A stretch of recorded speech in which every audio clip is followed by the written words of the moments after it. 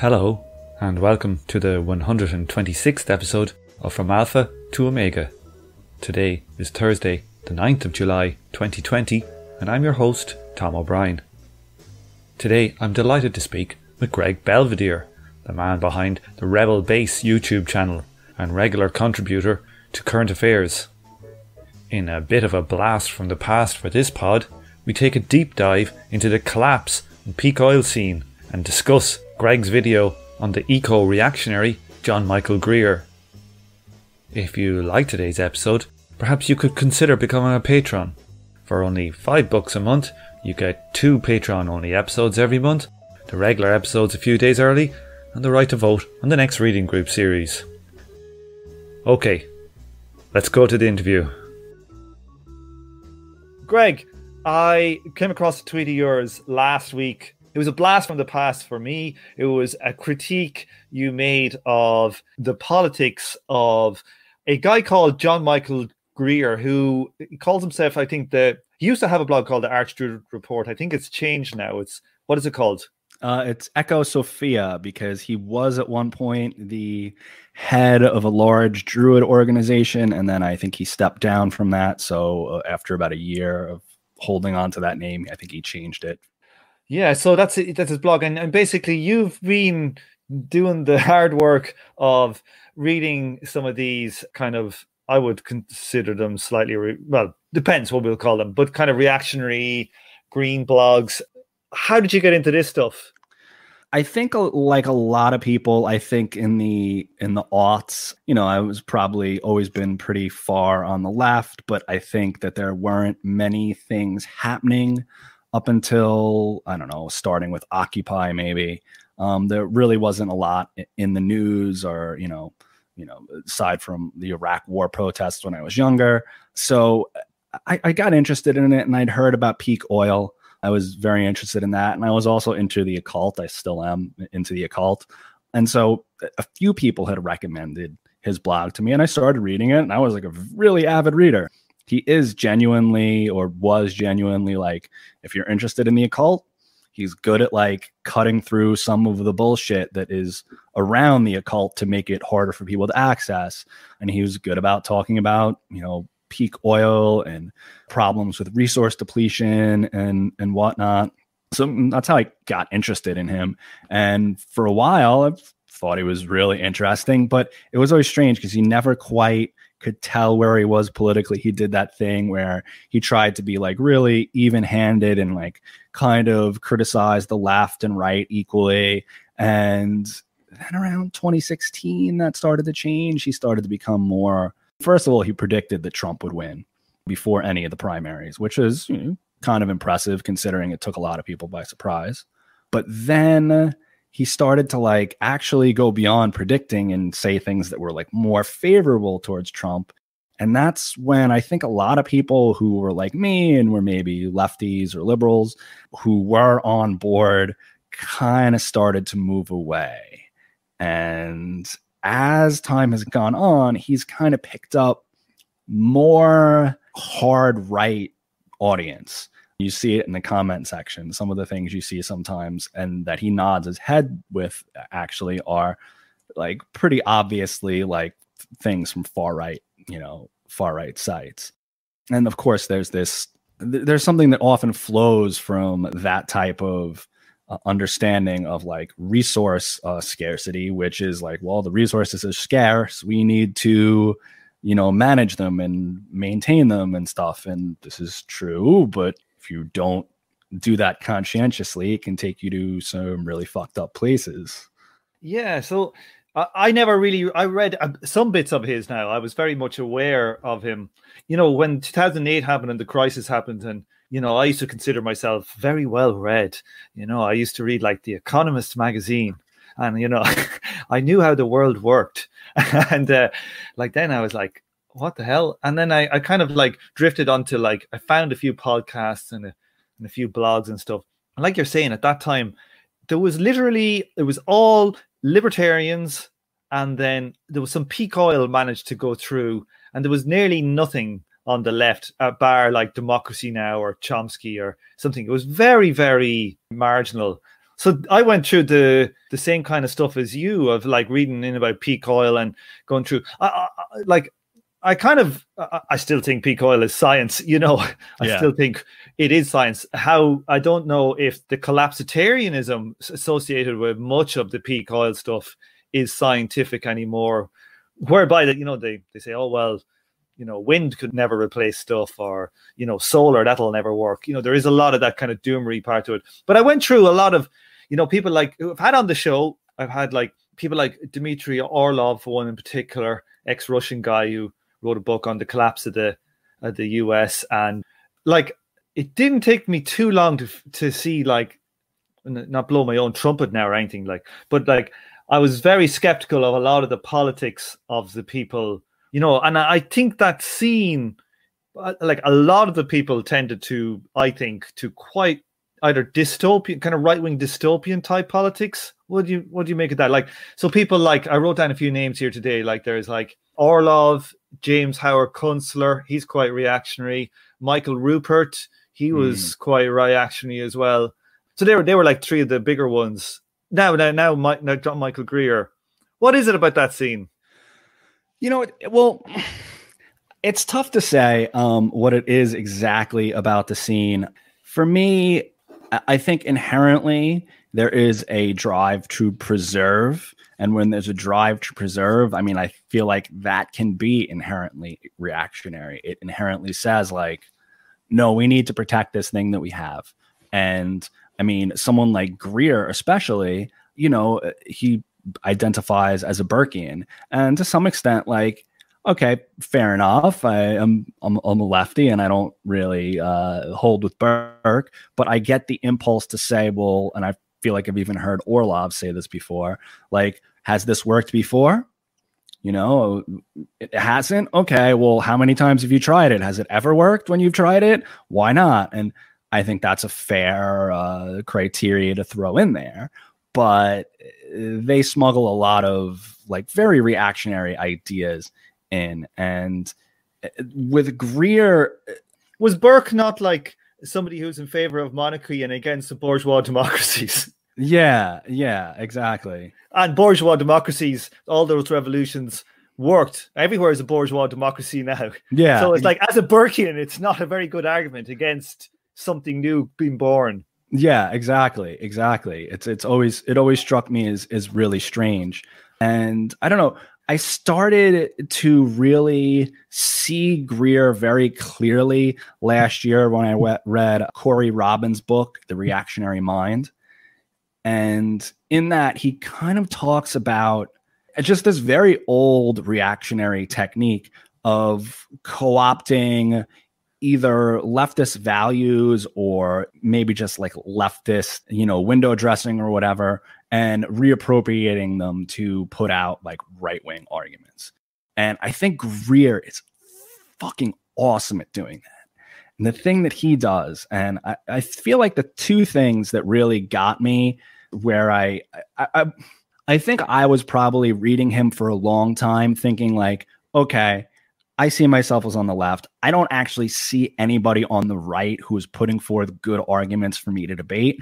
This guy, though, is putting forth some good stuff for me to like actually ponder. And so I, I, looked at him like that, but then it got more to the point where like, no, this shit is really, really bad. And so w- there were two things in particular that really got me. And the first one wasn't even on his blog. It was on like he has a Dreamwidth, which is like a it's like a half-ass social media. It's like not, I don't know. He said he didn't want to use a, a regular social media, but he, it's like a microblogging site. And he had a thing about Krampus and Christmas and how he was in favor of uh, corporal punishment for children and how that was one of the problems with children nowadays. Now, I have two oh, kids. Alarm bells. Alarm yeah, bells. I have two kids. And look, I don't want to judge people for how they raise their kids. I don't particularly agree with por- corporal punishment, but I also don't want to like shame people who do it. I may I maybe don't think it's as horrible in a in an overt way, but I think there is politically something really fucked up about the argument he made. And the argument that he made that really stood out for me was, and I, you hear it from people who are in favor of corporal punishment all the time. You hear like, oh well they never you know you should hit if you're going to discipline your child physically you shouldn't do it in anger which i almost would approve of the anger more than the cold like de- dealt out of finite physical punishment that you are acclimating your child to as you say nope that like like it, it acclimates i don't know i just feel like it acclimates you to a very you know just like cold like rigid like bureaucratic like type of punishment. So there's that. But then the other thing was and he started talking about immigration and he does this he does this really well if you're a reactionary. And so instead of point you know instead of addressing the fact that you know obviously immigration policies that restrict you know people coming into your country you know those are going to put you know immigrants in jail and send them back home to countries that might not be safe. Instead of talking about that he puts this onto the liberals and you know the coastal elites who are getting all the benefits of immigration, but unlike working people, aren't paying any of the costs. They get cheaper goods and services, but they don't have their wages diminished because they're not doing those jobs, which is true.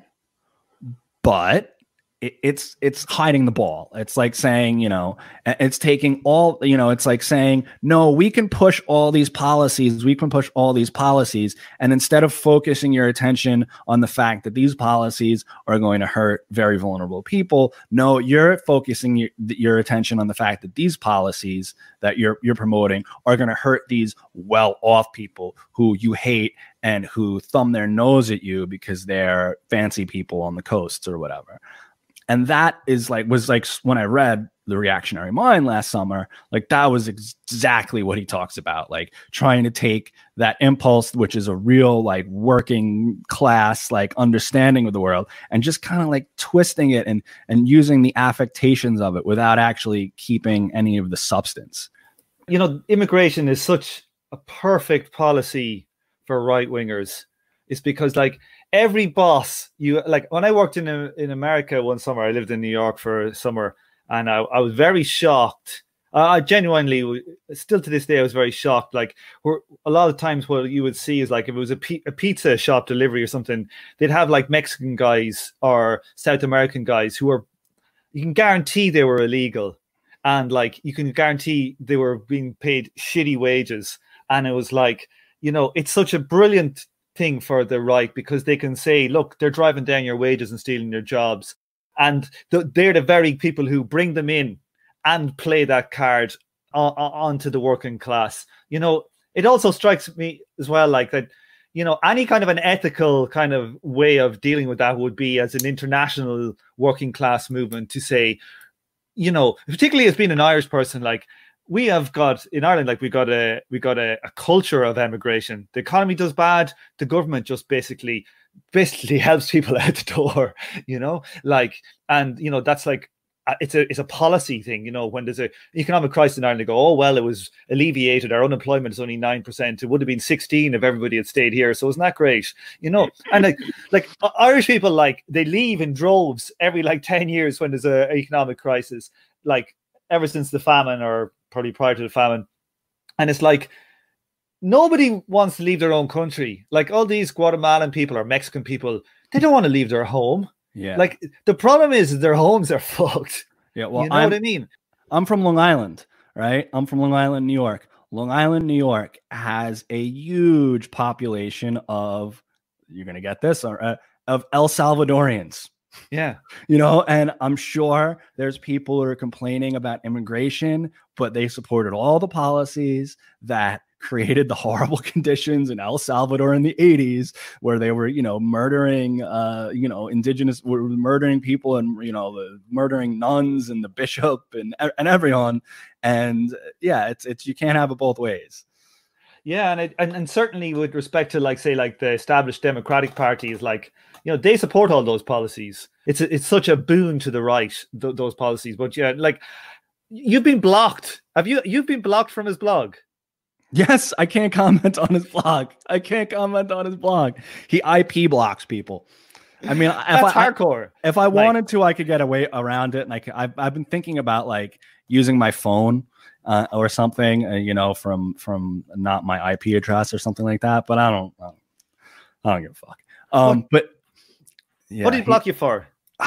you know what the comments might not might have been i i can't tell because i left a comment where we disagreed and it seemed fine and then I, a few months later when some of the the comments i think we'll be talking about that, that i talk about in my video w- when those happened that's when they weren't getting through and i was like okay this is this is strange So talk about these comments. What are these comments here? yeah so it's kind of amazing because and, this is very similar it brings to mind some of the debates that are going on right now about right-wing populism in the kind of left media circles and you know i like i mean i kind of agree with my sometimes editor nathan robinson that a lot of this right-wing populism stuff is is bullshit i mean it's it's yeah they they might use the rhetoric but when things actually get down to it they're not going to do any of the things they say um, any more than Donald Trump has. But what was really interesting was he had had he'd had a blog. He had a few blogs where he talked about left wing extremism and how left wing extremism has gotten so out of hand in this country, and it really puts off any type of anyone who's in the center or isn't radical from left wing ideas. They're just too over the top, which is absurd on a lot of reasons. I mean, it's absurd mostly because and the and I think the thing he used to compare the things that he put side by side were not equivalent. And so like he used like this picture of like Antifa burning a flag, which he claimed came from the mainstream news media. But when I looked and did a reverse Google search, every single site it appeared on was like, except for like the local paper that it appeared in first, was a far right site. Some of them had like titles like like Jew World Order and like like like like real like over the top shit, you know? and so and so like here he is saying like this is what the american people see. And like no the american people don't see that if they're not looking at far right sites. Now maybe some more of them are because the mainstream media in this country does kind of suck but it's kind of disingenuous. And so he had that picture up against like uh, the Donald subreddit where there was like a picture of like some hotties for Trump, and it was like women with large breasts holding up, you know, a sign that said "We're for Trump" or whatever. And it, and, and he tried to compare these two things as if they were like equivalent examples of like far left and far right, when like actually like the far right in this country has a body count, and it completely it completely dwarfs any type of violence that we see from the left. And like so I think I think this is when he stopped letting my comments go through. So I was like, "Well, do you not see this or are you like obfuscating on purpose because this is clearly not you know, these things are clearly not equivalent and you're amplifying one and diminishing another and and this i think this one these blogs there's two that i commented on in the video but one of them came about like after there was that shooting in el paso where a guy cited ecofascism as a motivator. And this and greer kind of was like oh you're going to hear about ecofascism. Why is everyone talking about ecofascism? What they just want to discredit anybody who talks about resource depletion. That's all they're trying to do. And it's like no people are talking about eco fascism because there's been a bunch of people killed lately because of it. Like, you know, you're you've gone past the point where I can believe that you don't know this, you know, or that like it's obviously like where your loyalties are now. in the video you were saying like you don't know if he's an eco reactionary or an eco fascist what is his take being on the black lives matters movement then Oh, yeah. I mean, he hasn't come out with a blog explicitly about Black Lives Matter, but he has had some comments and he has like a once a month he has an open blog where people comment and some of the things that people say on there are just again like, amazing. just wild crazy youtube comment Yeah, well, 4chan eh, Eh, you know, more crypto, I would say. And th- those are like kind of more interesting because they're more clueless in a way. They're not just you know, as, as self aware, I guess. And so, like, the one in particular was this guy, like, quoting all these stats about, like, oh, black people aren't actually targeted that much. And anyone who thinks that is not looked at the numbers. And then he proceeds to cite all these different references. And one of them was like, the first one was, was Quillette, which is uh, okay. Borderline. Yeah.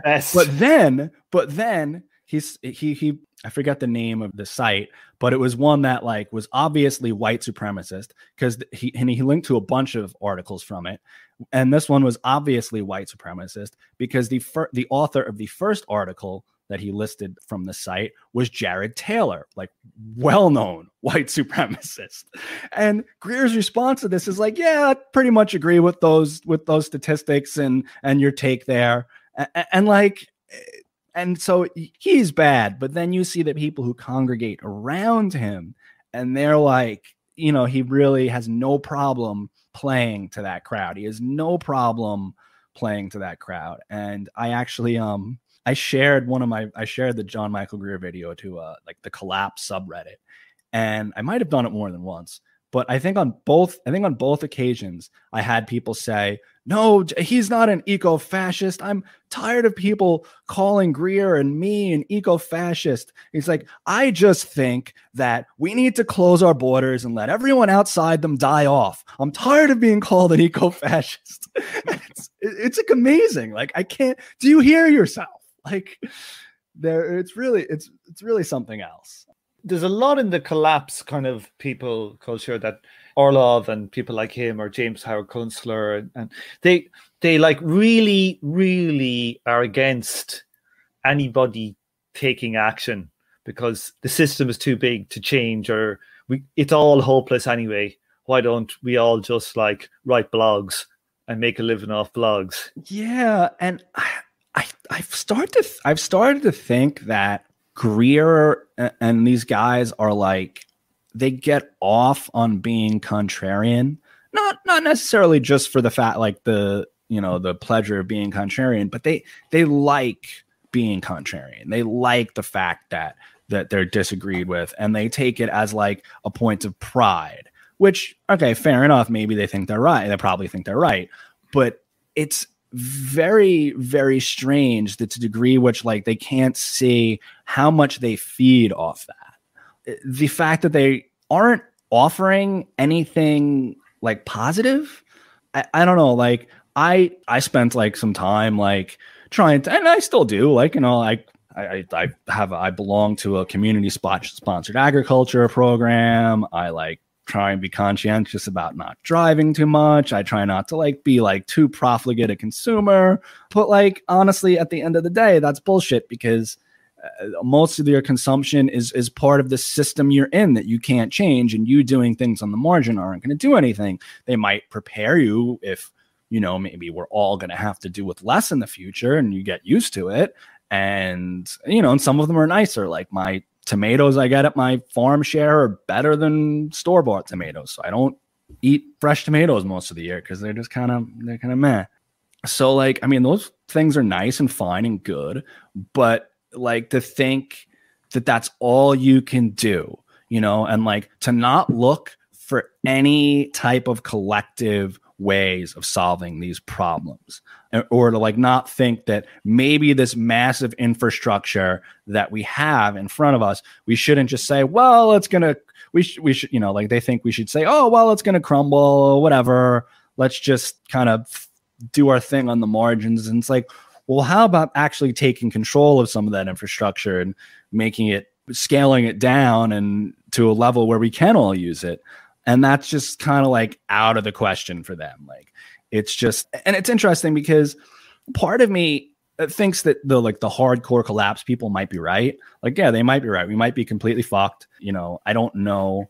And this is a big problem for me. Like, there's a big epistemological problem because, like, I don't know I mean, you talk to you talk to Hall, and I'm, you're probably familiar with the Prieto, the the book that him and uh, Prieto put out. I know he was talking to you about it in that episode. They did a report together, and it, it's on Energy Skeptic, and it's just about like you're building a solar array in the desert you need to have someone come clean those panels off. And there's all these you know there's all these costs that accumulate and maybe we're not going to be able to get as much energy out of those things as we thought. And now i don't know I'm not an engineer. I don't have the correct competencies. And, you know, nobody has all of them. You know, nobody knows the science and the economic and the economics and this, uh, you know, nobody has all those pieces. So it is kind of an open question if we're going to collapse or not.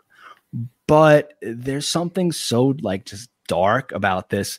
Nope, that's it. We're fucked. You're just going to, the best we can do is, you know, be prepared for the collapse. And that's it like uh, like Dmitry Orlov says, you know, America is just going to be exactly the same as what happened in the USSR. There's like I've done like quite a lot of research and reading on the USSR thing. Like there's one thing that like came out from an interview I heard with a guy, and he was saying he was like basically in the archives in like Moscow reading like the economic problems that the planners were having and one one of the things was that was happening at the time was that there was I think there was three different rubles at the time. There was like an external ruble, hmm. which I think was pegged to gold. There was an internal ruble that you would buy stuff with your wages. And then there was a third ruble, which was basically the rubles that different firms used for buying and selling between different like companies. And very often what would happen is like one company being being running really badly and the central government would just go, okay, we're just going to slash all their debts. You know, just we'll just give them some more rubles, just on a computer or whatever, I'm going to say, okay, you know, your debts are gone. But at, at one point, they allowed the managers to take out loans of these type of rubles and actually use them in the real world outside of intra-firm trade hmm. and so they could buy they, for whether it was like intended or not they were able to basically spend extra rubles out to, into the normal consumer market and there was basically and a lot of these guys who were running these firms were like kind of bureaucratic guys are firm managers going, God, we could make a killing here, boys. You know, and it was in their interest. They just basically got huge amounts of, of money together. And the central government were trying these reforms, and this thing started going, and no one would reform it because everybody was in the know was making loads and loads of money, and bang, you get hyperinflation, the whole thing collapses. And you have the US on the outside going, let's go in here and try and fuck it up. Like, so if, if it was all about peak oil in Russia, how come their economy has recovered to a size now that's bigger than it was in 1990 if it was purely a peak oil phenomenon. So like the fact that like these other countries have come back makes me very skeptical of like this idea that things are all screwed. I know like the stuff you're talking about this like what's your what's what do they call it? Your eroei yeah, yeah. The, your energy returned on energy invested? It's like you know that stuff is an open question like you know from what i could make out you know i'm no expert or anything in it. So like the fact that you would be so goddamn sure that like okay that's it lads five billion of us have to die. Yeah yeah like it's how... like what yeah. is that about? That says something more psychological or or or reaction just i think just plain reactionary. Like i was kind of after a couple of years you know i was I don't know. Where did you actually hear these guys? I think I got I came to them through maybe Max Keiser show or something weird like that. I want to say actually from from Greer's blog. I mean, from Greer's blog and some of the other guys. Like, I never followed. how'd you find it? How did you find it? Just for the occult stuff, is it? Yeah, I just I think. Well, you know, my my rule of thumb is when more than one person recommends something, I check it out. And so I had read this a really great occult book, by the way, for anyone who's interested in the occult, is On Becoming an Alchemist by Catherine MacCoun. And I had corresponded with her about something else and about something that I was writing at the time that didn't end up going anywhere. But it was about technology. And she was like, Oh, you should read John Michael Greer because he's very interesting about technology. And I think I had maybe heard about him somewhere else because I may maybe like in relation to like Mike Ruppert because I had followed him maybe, and then and you know and then I started like reading his blog and I would check out him check him out if he was on a podcast and he definitely different type of thinker and like good for a lot of cult stuff. But yeah, uh, these it, it, it is very it is very funny. So like there's this idea in the occult like levity and gravity you know, higher spirits, angels and stuff, they bring you up, but it's very detached from the ground. And then, you know, like darker spirits, they pull you down to the ground. And, you know, uh, to be fair, a lot of aspects on, in our culture are not attached to the ground. So I think that's probably why I was seeking out like stuff like Greer or something. You know, like he, definitely there's something very grounding, but at the same time, like I think he it, without a countervailing force, you just get pulled down into like everything is shit, everything is dark. I was just reading my son the sixth book in the Chronicles of Narnia, The Silver Chair, and there's a scene where there's a character and they're they're trapped underground and there's a witch and she's trying to convince them that no there's no surface and the, the Aslan is a myth. He never existed. And that's just a memory. And this is just a silly idea. And and you know they're they're she's putting them under the spell with this mist and all this stuff and at one point you know they're fi- trying to fight it and at one point the one character says you know even if all that surface is bullshit I still like it better than this fucking thing you're telling me down here where we're all stuck in the ground. And I think I, I think that is right. I think that is the right impulse. Is that like, you know what? Yeah, you know what, John Michael Greer? Maybe we are all fucked. But like I like it a lot better than and this can connect to like kind of where his thought process takes you and what I kind of try and do that video is like if you're always like so grounded, you are going to drill yourself down into the ground. You are going to support any type of like racist, militarized border in the name of like, you know, defending. Uh, you know, well, who knows what he's actually th- th- thinks of it, but like, you know, in the name of supposedly defending American workers or whatever it is. Whereas, like, you know, as I pointed out in that video, like at the time that that came out, like there was GM, I think it was GM workers or whatever, auto workers striking in the US and Mexico. And I mean, that's what you need. You don't need like people saying, no, don't, don't come here, or we need more militarized borders. Because once you say yes to that, you're basically saying, yeah, I think that maybe is why the corporal punishment thing stuck with me because it's that same mentality. And like, I don't know, like, I, I know my own mentality and I know kids like, you beat me, I'm just coming back. yeah, and like especially with the thing where you should, you know, you should only hit your child not out of anger, but like. Like anybody who has a child, like there's been times when my kid is so stubborn. I hope he's not listening. He's been so stubborn, like, and he would drive if you're tiresome, drive you mad, and you would go, "Oh my god!" You'd be clenching your fist. You know, you'd be saying to yourself, "I'm so close, I'm so close," and you don't do it. I can't imagine what it would mean about your personality to say, I'll take that now and I'll wait an hour later and then I'll do it when I'm right." Yeah, like exactly. that is that's a very deep level of fucked. Exactly. Like, look, I don't condone it, but like I can understand the people who get angry and hit their kid. I can understand that. I can't understand the people who are like, I'm gonna do this completely like calm and, and no if you're calm and shit you should be able to think of a more productive way to discipline your child like what you should, the fuck is wrong with you you should lose your child's license that's yeah. what i think especially you were saying earlier that he was like saying about the the left you know that they're complaining about you know the things they're putting forward are just too kind of far to the left you know for ordinary people like it's pretty wild coming from a guy who's like a druid and a pagan and a collapsitarian yeah. Like he's literally doing things I would yes. say equivalently or more to the like I would say definitely more nearly off the scale than Antifa. Yeah, yeah, definitely. And I think that's one of the things that's that's just so frustrating about him is that he does he does he's very good at like hiding the ball and making out policies which are actually increasingly popular seem like they're you know off the scale and like he'll he'll does like a lot of like not tone policing but like kind of policing and being like well that's not practical blah blah blah. But and i think the thing like one of the last comments i made to him that actually went through was like well all right you've been talking about this stuff for like the last decade. And do you actually think it's going to stop global warming? Or uh, like or you know do you actually think it's going to make a dent? Or like or are you just doing it like like why what do you actually think is going to come from all these these actions and he kind of dodged it you know and and it's like what do you like what like don't you realize this is a is a really hard sell for most people and that it's only gonna like it's only a matter of personal consumption that isn't gonna change the system. Like, don't you get that? Like, where are you going with this? Where do you think this can go other than like maybe being prepared in, you know, once the rubble starts bouncing? And uh, he really didn't have anything directly for that. He just was kind of like, well, yeah, it is kind of optics. That's part of it. But it's about, oh, it's about mimesis.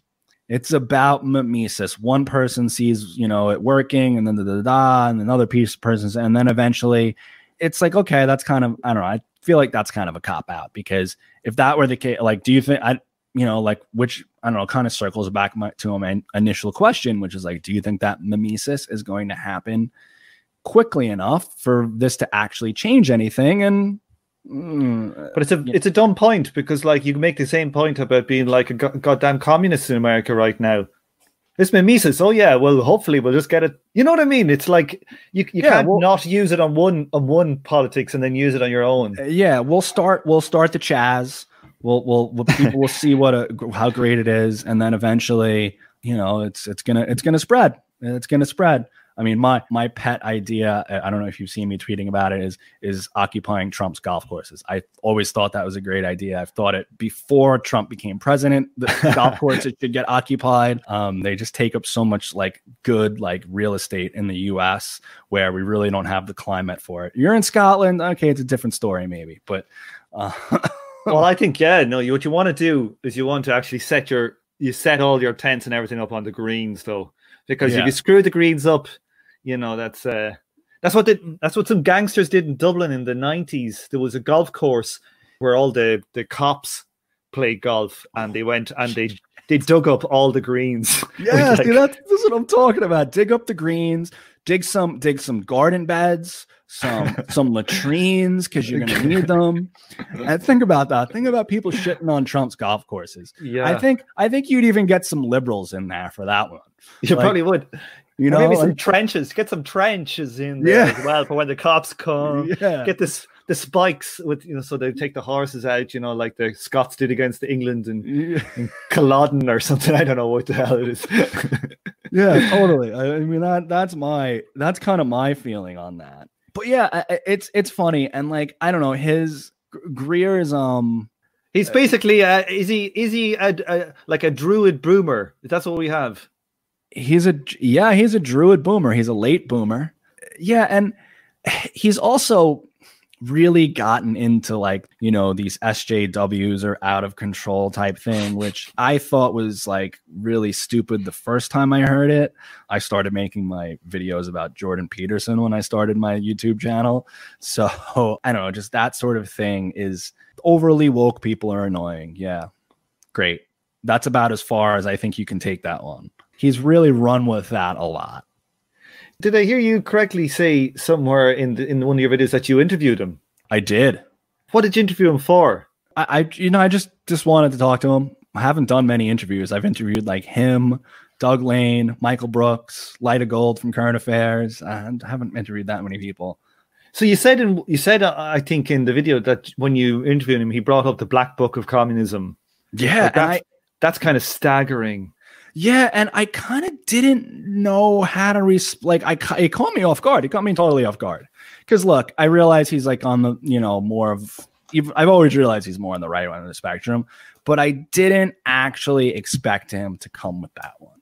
That to me is kind of like like there's so many good arguments against eh, eh, I I, I was just kind of like dumbfounded and I didn't want to get into like an argument about fucking how many people died in China and how many, whether it was famine or whether it was you know you know all those you, you know it you know you know it. Yeah. Um, so like I just didn't want to get into that whole thing but I was like how do you like how do you really come at that and not you know see it on the other end? And then you know then you know talk about like some of the the politics that he that he you know uh, that he like puts forward. It's it's kind of amazing I mean, ditto for like his thoughts on like social democracy and what what does he think about social democracy? Well, I mean, it, he kind of points to Nordic countries as having these problems and but I mean the specific thing that he linked to that I'm thinking of was by Somebody John Booth. John Booth's. Yeah,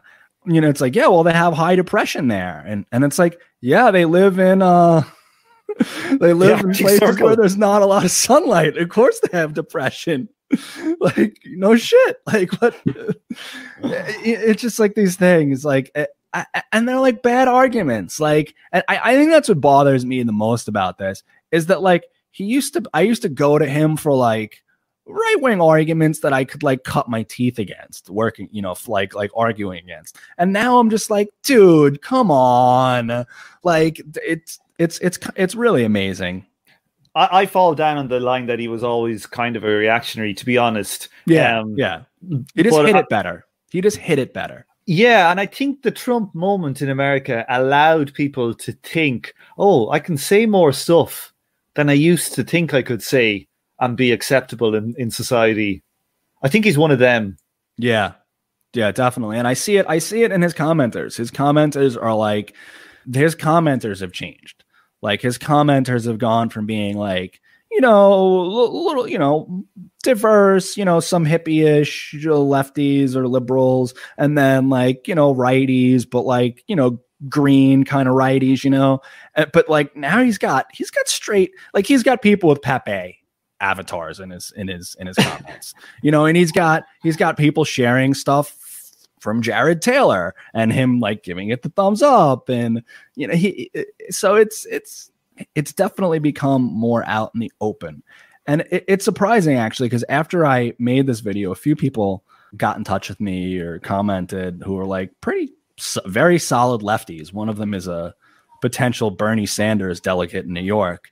And they were like wow I, this is good to see that someone else thinks this because i used to follow this guy too but haven't in a few years like It'd be interesting to know if he got kicked out of the, the his job as the chief druid for politics, wouldn't it? I wonder. that would be to that? interesting i don't think so i think he i think he kind of just was like done with it or had you know had done his had done his time there's another there's a guy who is an anarchist he's a druid and he's kind of had some interactions with him uh Rhyd Wildermuth gods and radicals i think is his uh blog and internet publication and so he's had some inter- interactions with him it, it's interesting because there's i mean you know you dig into any subculture and there's all like you see basically the same types of cultural and political like squabbles that you see everywhere else you know Is there anybody? Is there anybody else that you've been kind of following in the kind of that eco scene that has gone the way of John Michael Greer? I, you know what? I don't think so. I haven't followed Kunstler. I know he's pretty turfy, although I, I, I don't think he's a feminist, so turfy might not be the. Uh, He's the a word. homophobe as well. He's definitely Yeah. homophobic. Yeah. you know, and I think racist. To be plainly honest with you, Yeah, I haven't followed him enough to to really get a read. Orlov is pretty weird. I never got too deep into Orlov. Who are some of the other people in that scene? Chris Martenson. Yes, he strikes me as just like a con man. Yeah, yeah. well, he used to be he used to be in finance, so yeah. You know what I mean? Like, Who are some of the other people? Um, I'm trying to. There's one I'm thinking of. It's Richard Heinberg. he's good. I would think. Yeah, no, he's good. He's good. yeah, yeah. Um, he's good. They got him on tape in that Planet of the Humans movie talking about overpopulation, which is Not unfortunate. It's one of those things where like it, it, there's a way to talk about those issues and there's a way not to talk about them and it's hard because like yeah we do have a resource problem and there part of that is that there's lots of people but oh, i mean i even if i think that i don't want to say it because like because so many people who say that the next step is well we need to do this this and this and these things are all fucking scary or which is interesting actually again going back to greer the thing that is interesting he had a blog a few years ago about overpopulation where he basically said it wasn't a problem I don't think it's a problem either. Like, I, you know, yeah. it's a consumption thing. than a yeah problem than a, a population thing. well but even in terms of like the actual population he was just like oh the population will just settle itself out like like like we don't like we don't have any control over that if we if we overshoot we're just gonna you know you'll go to a few more funerals every year and a few less uh, christenings every year, and that'll be it. And we'll we'll poison the water like an algae bloom. Yeah, yeah. So I don't I don't know. I think that's in fairness to Richard Heinberg. Like he's the one I like. There's a couple I've written down that I I think I haven't. There was the Automatic Earth blog I used to kind of follow. Uh, Nicole Foss. There was another one who was like they're kind of more. I would think people who are like Green Party voters as opposed yeah. to kind of just pure out and out collapsitarians. But like it's pretty, I would say it's a pretty, I wouldn't say hegemonic, but it's a very common thing in green circles overpopulation. I think that, would you think that's a majority of Greens? Or is it, I don't know if it's a majority, but it's definitely a, a sizable chunk of green people think that uh, yeah, I mean, I think it's I, I think it's quite I mean, I think it's quite a lot of people think that. I mean, I it's not if I like for example in my videos, like I don't like in my video on like eco socialism, I don't even think I say the word. I might be wrong, but I don't even think I say the word. I talk about I talk about consumption and systems of consumption because like, you know, I've, many people have pointed out like they always seem to talk about overpopulation in you know africa. yeah africa. in developing countries. Those countries where there's the brown people. That's where we seem very very engaged in dealing with overpopulation. And like to some extent like you know uh, because you know because uh, which is silly because we consume way more. You know I, I figure out what the exact numbers are but someone in the you know someone in in a developed country consumes way more than someone in in an unde- in a less developed country. It's just it's ridiculous the the amount. It's like a, a, factor of 10 kind of is like yeah at least just by gdp yeah. Yeah at least. So you know so like saying like again it's it's one of those i want to police those people over there and well don't really worry about what i'm doing um, i'm living in in the uk at the moment right? And you know compared to ireland like ireland and england they're pretty much the same size england has got 10 times the population of ireland and it's like when I'm here, I do feel it like there's too many goddamn people. But you yeah. never hear about overpopulation with respect to like England, Holland, Japan, places that are really are overpopulated. You know what I mean? Yeah. They're incredibly densely populated. There is no green space. You know, there is no wildness like there is in America or Africa and places like that. So, you know, how it's couched, there's never a policy in a first world country for depopulation. There's never a one child policy like in the West or anything like that. It's it's weird because like there is this thing, and I think there was an economist I saw do a TED talk on this like a decade or so ago. I think it was Hans Rosling. You know? Yeah, the Swedish guy, is it? That swallows yeah. a sword.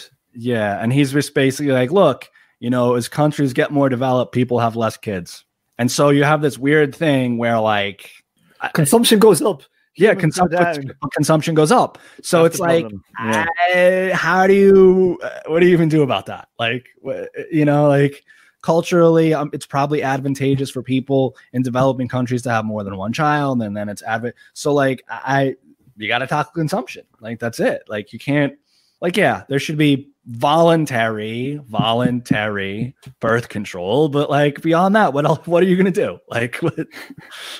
I don't know. I could we could we could hatch some evil plans. Let me see. Is there anything else we haven't hit on here now? Oh, you know, I guess the other thing that he does a lot is he will tend to lump the left and like mainstream Democrats in together a lot, which is which is funny.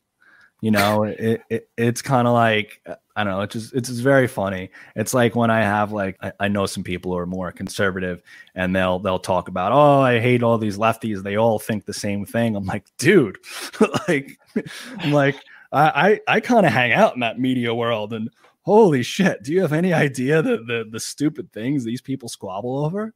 I'm like, I gotta watch what I say every week, so I like stay on like so I stay diplomatic towards everyone, man. yeah. yeah, I'd be dead. I wouldn't be able for that. I'm lucky I have my own podcast. It wouldn't last five minutes. Yeah. yeah, no, it's you know, I think in people's biases like that, you see their true nature. I, I don't think it's reasonable for an intellectual like John Michael Greer, because let's let's be plain, he is an intellectual. He's, he's a smart he's a he's really a smart, smart He's, he's a smart really guy. smart guy, and he's read hundreds and thousands of books, and he's systematized them well to towards his ends. It's just not a feasible thing that these biases are about a lack of learning. I think that you know it it exposes what is what he is, and you know Jordan Peterson plays that game as well, where he he always has arguments that basically misinterpret left and give cover to the right. Just look at who people's fans are. You get a good idea of what they are. Like i it's not credible that say i you know i'm a communist that i could make all these arguments that say my arguments all tended to the right and my comment section were all like racist right wingers it's not credible that i i don't know what i'm doing.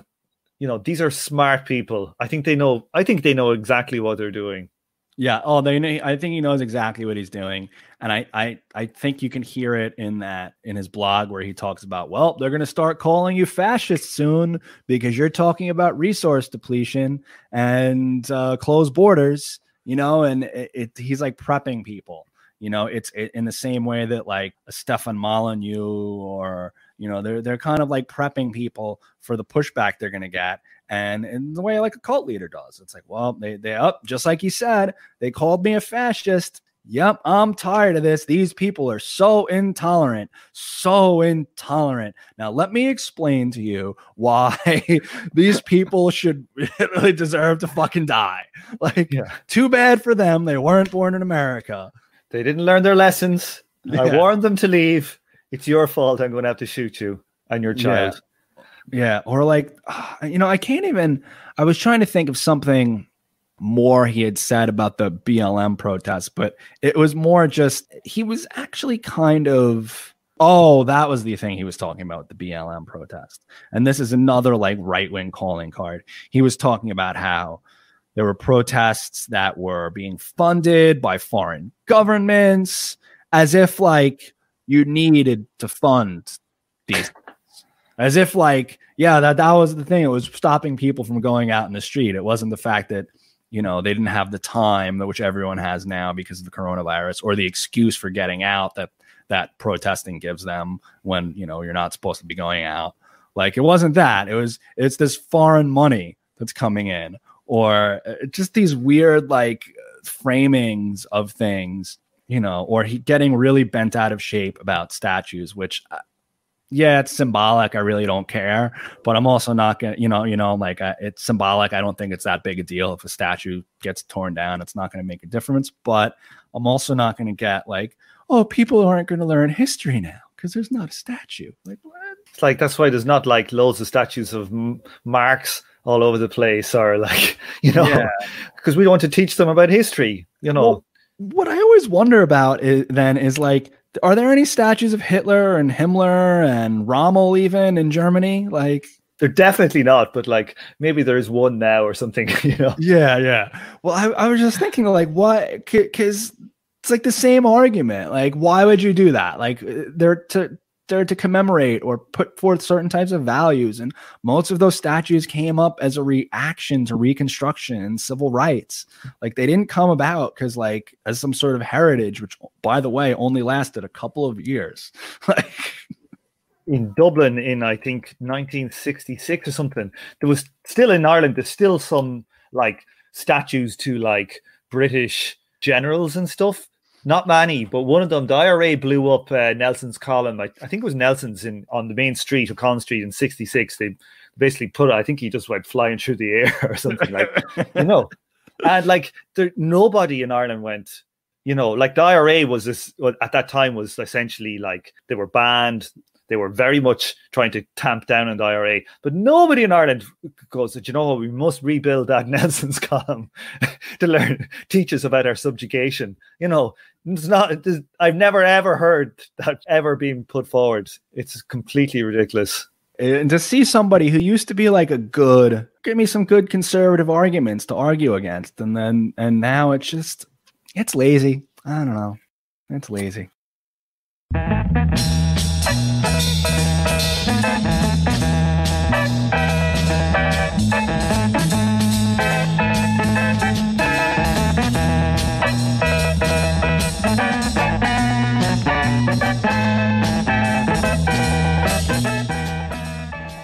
On this episode, you heard the theme tune The Order of the Pharaonic Jesters and Night of the Purple Moon by Sun Ra and his orchestra. Thank you for listening, and please join me for the next episode of From Alpha to Omega. This show is a member of the Emancipation Network, a Marxist podcast and research collective. Make sure to check out our network sister podcasts General Intellect Unit, Jumpsuit Utopia, Mortal Science, and Swampside Chats.